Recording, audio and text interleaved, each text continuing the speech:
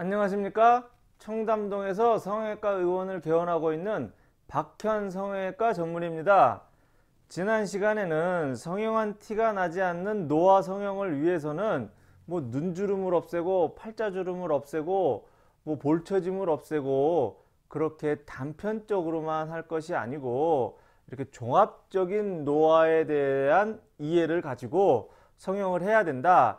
특히 그 중에서도 중안면부 이쪽 코끝하고 인중하고 입술 그리고 특히 윗발이 보이는지 아래 이빨이 보이는지에 대해서 설명을 드렸습니다.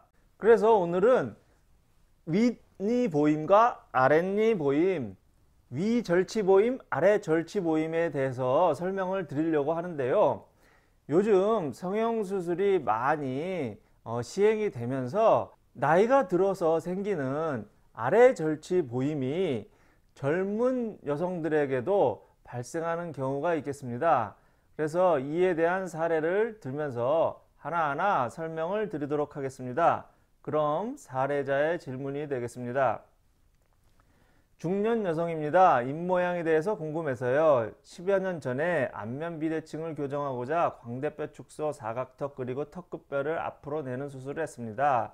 아직도 비대칭이 좀 남아있긴 합니다만 그동안 나이가 들어서인지 모르겠는데 주위 친구들에 비해서 입모양이 뭔가 어색하고 나이 들어 보이는 것 같습니다. 입꼬리가 처지고 인중이 길어지고 위 이빨이 시원하게 보이질 않으면서 아래 치아가 보이는 것 같아요. 얼굴이 처지면서 길어지는 것인지 살이 빠지면서 그렇게 보이는 것인지 젊었을 땐 갸름한 얼굴이라고 말을 들었었는데 지금은 길어 보인다고 하네요. 라고 질문을 주셨습니다. 지난번에도 시드니 콜맨의 이 아름다운 사파를 보여드렸습니다만 노화로 인한 입술 주위의 변화는 이와 같이 코끝이 떨어져서 노골이 되고 인중 각도가 C자형에서 배불뚝이형으로 변하고 인중이 길어지고 입술 주름이 생기고 입술이 얇아지고 이런 현상이 나타나게 되겠습니다. 그리고 윗니 보임이 있던 젊은 얼굴이 왼쪽 오른쪽으로 가면서 아랫니 보임이 있게 되겠습니다. 이러한 노화 현상은 여기 손녀와 할머니의 입주위 변화를 보시면 구분하기 쉬운데요. 우선 코끝이 떨어지고 인중이 길어지면서 요 인중골, 인중 오목이 평평하게 됩니다. 우리 애기들을 보면 인, 애기들 인중을 보면 인중이 그냥 뻘럭뻘럭하니 이렇게 윤곽이 아주 잘 만들어져 있습니다. 그런데 나이가 들면 이 인중골이 밋밋하게 되게 되겠습니다. 그리고 여기 보시면 입술이 얇아지고 입술에 이렇게 세로주름, 입가주름이 많이 만들어져 있겠습니다. 이는 입술 주위의 피부가 이렇게 불었다 줄었다 불었다 불었다 줄었다 불었다 줄었다 이완과 수축을 계속 반복하면서 그러한 현상이 한 6, 70년 정도 계속 되게 되면 이렇게 젊은 피부가 이렇게 우글쭈글 나이 들은 피부로 변하게 됩니다. 그래서 이렇게 이완과 수축과 이완과 수축을 못하게 하는 근육마비제인 보톡스 주사를 계속 마비시켜 주게 되면 뭐 100만 번을 해서 이게 이런 피부가 이런 피부가 된다고 한다면 보톡스를 뭐 수십 년간 주게 되면 남들은 100만 번 구겨질 동안에 자기는 50만 번 구겨지게 된다면 훨씬 더 피부 노화를 예방할 수가 있는 것입니다.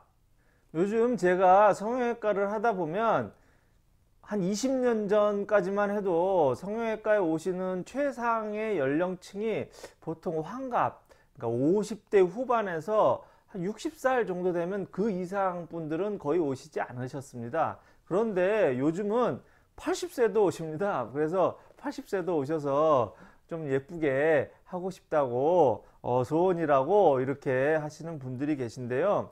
그러니까 우리가 70살을 먹었다고 해도 40대의 그런 뭐 몸매와 어, 체력 음, 아니면 또 얼굴이 동안 얼굴도 있겠죠. 그렇게 다 다르듯이 주름이 자글자글한 그 나이가 든 노인이라고 하더라도 좀 더 동안으로 보이고 호감 가는 인상으로 보이고 또 아 예쁘게 늙으셨네요.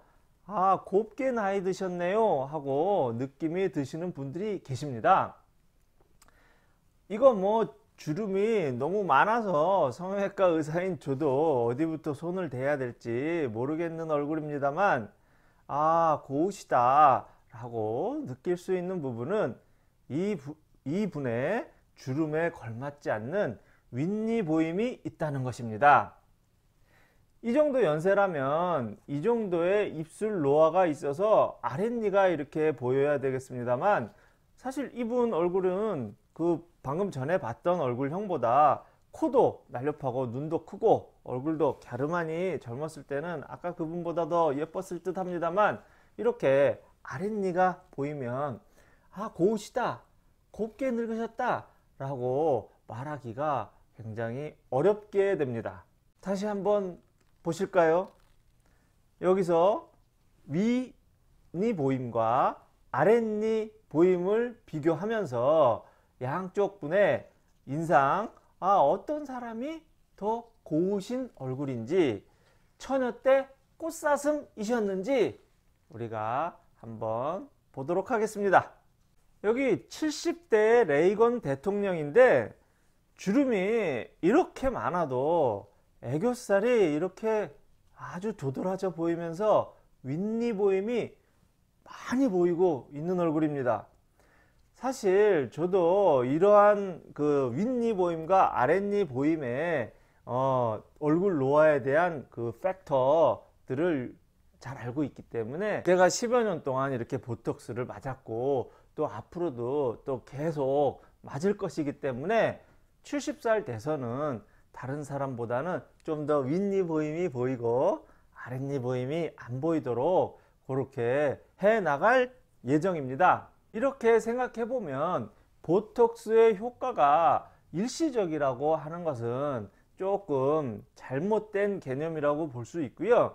우리가 보톡스를 계속 꾸준히 맞게 된다면 이렇게 윗니 보임을 계속 유지하면서 아랫니 보임을 계속 예방해 나갈 수 있다면 그 효과가 20년, 30년 뒤에도 나타날 수 있는 것이 되겠습니다.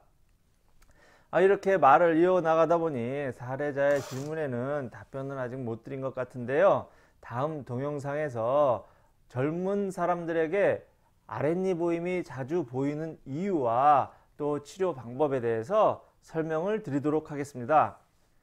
감사합니다.